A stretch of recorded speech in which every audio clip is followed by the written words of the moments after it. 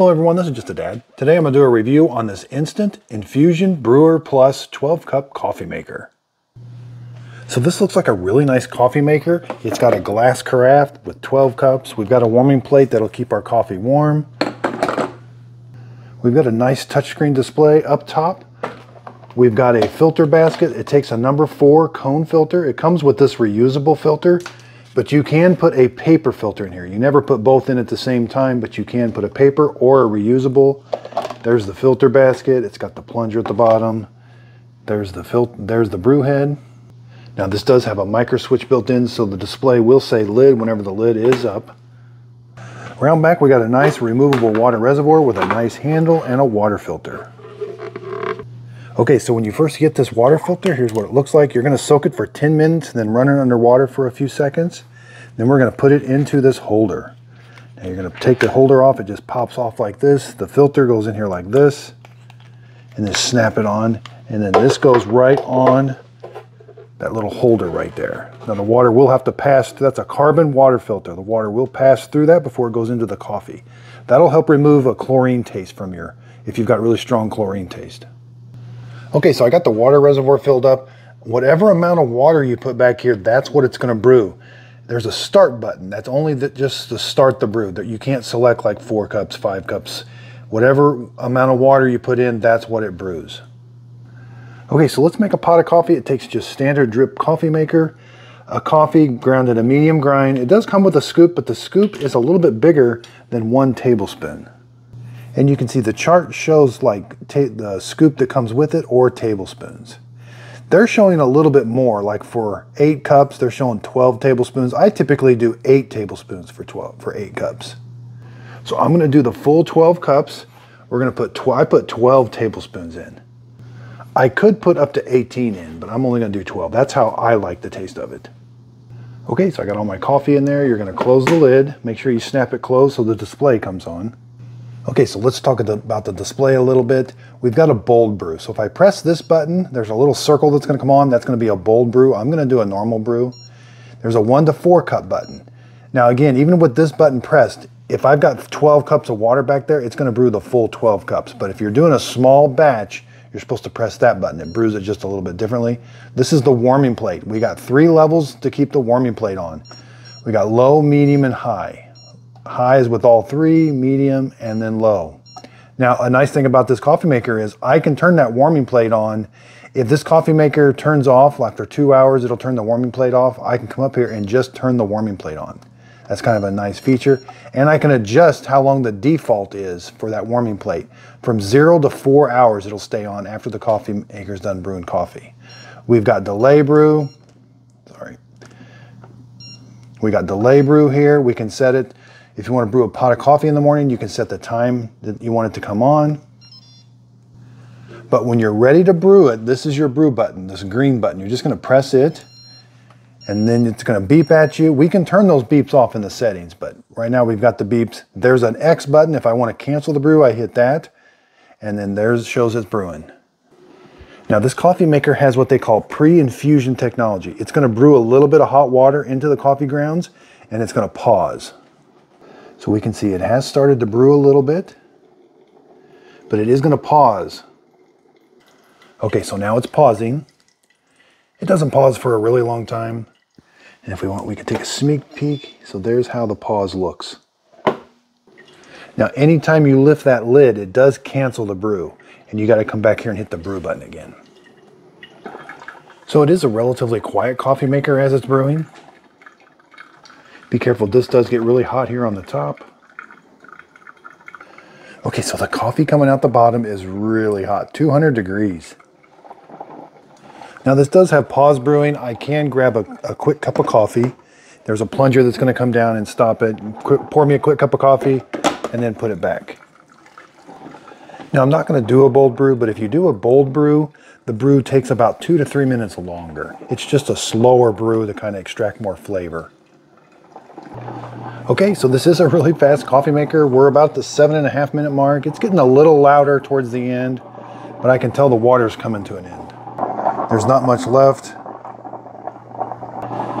Now, when it's done brewing, again, it's almost done brewing, it's gonna switch and keep the warming plate on.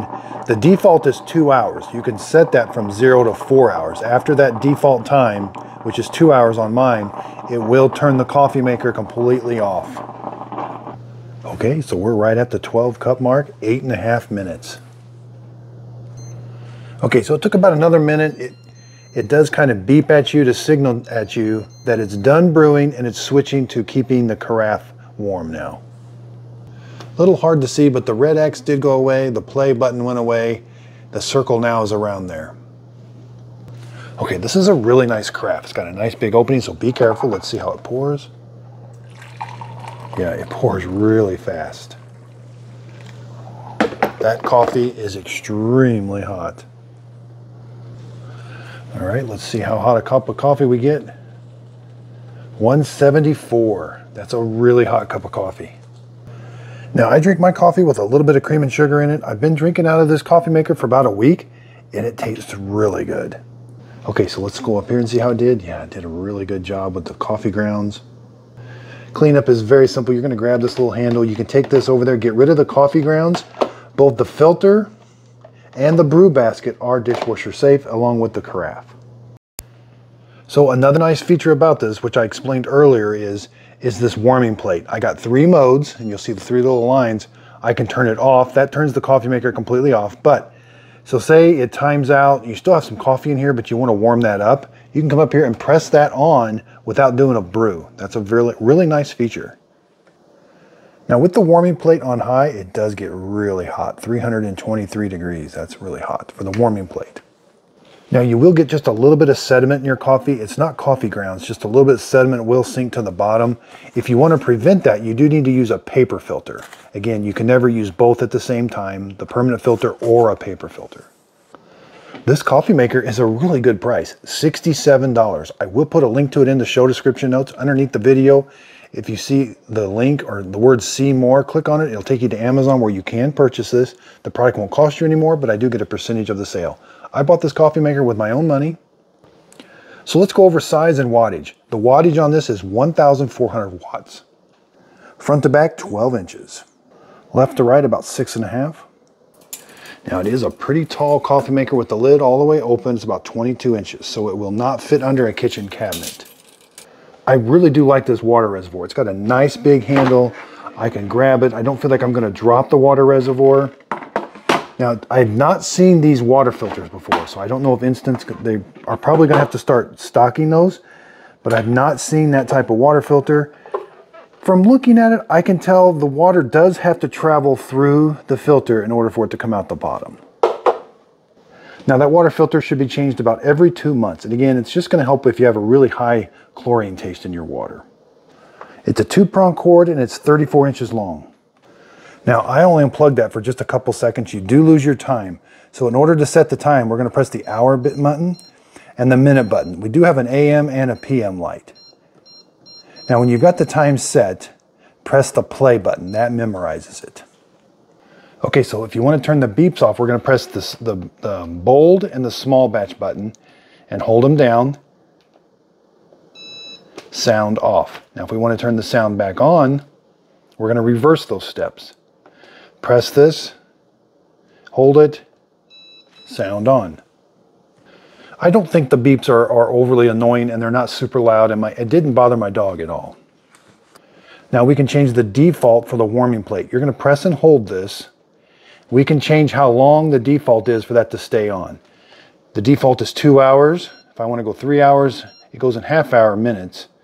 Or I can go all the way up to four or zero. If I want it to shut off after it's done brewing, go to zero.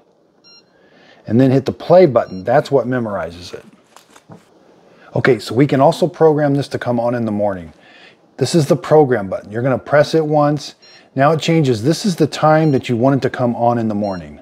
Say I want to come on at six, it goes in five minute increments. 625, hit the play button, or if I just let it time out, it'll also set it, but hit the play button.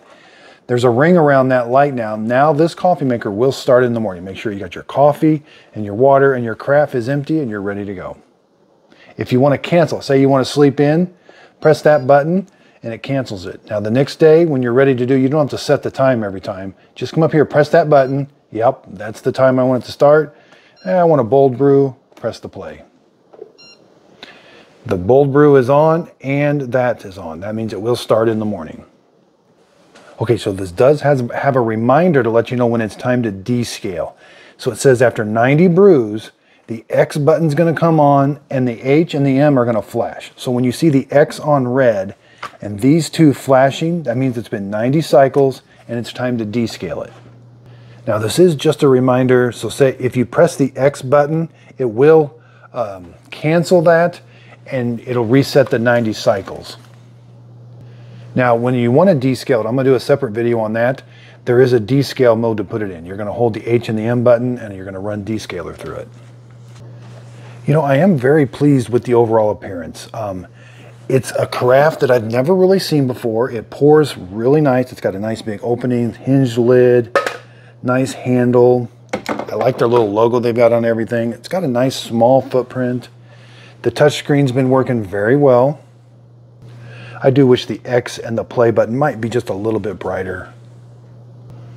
But they've really packed some really nice features into this coffee maker.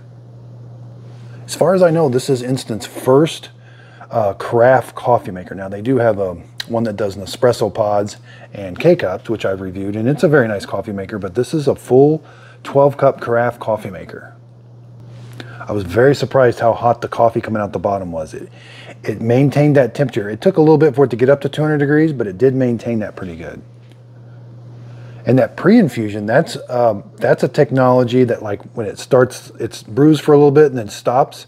Some really expensive coffee makers have that. But overall, I was impressed how fast it is. You know, pretty much eight minutes for 12 cups of coffee. That's really fast. It's not super loud, very easy to use and it just makes a really nice hot cup of coffee. Underneath the video, if you could give it a thumbs up, I'd really appreciate it. That helps out my YouTube channel.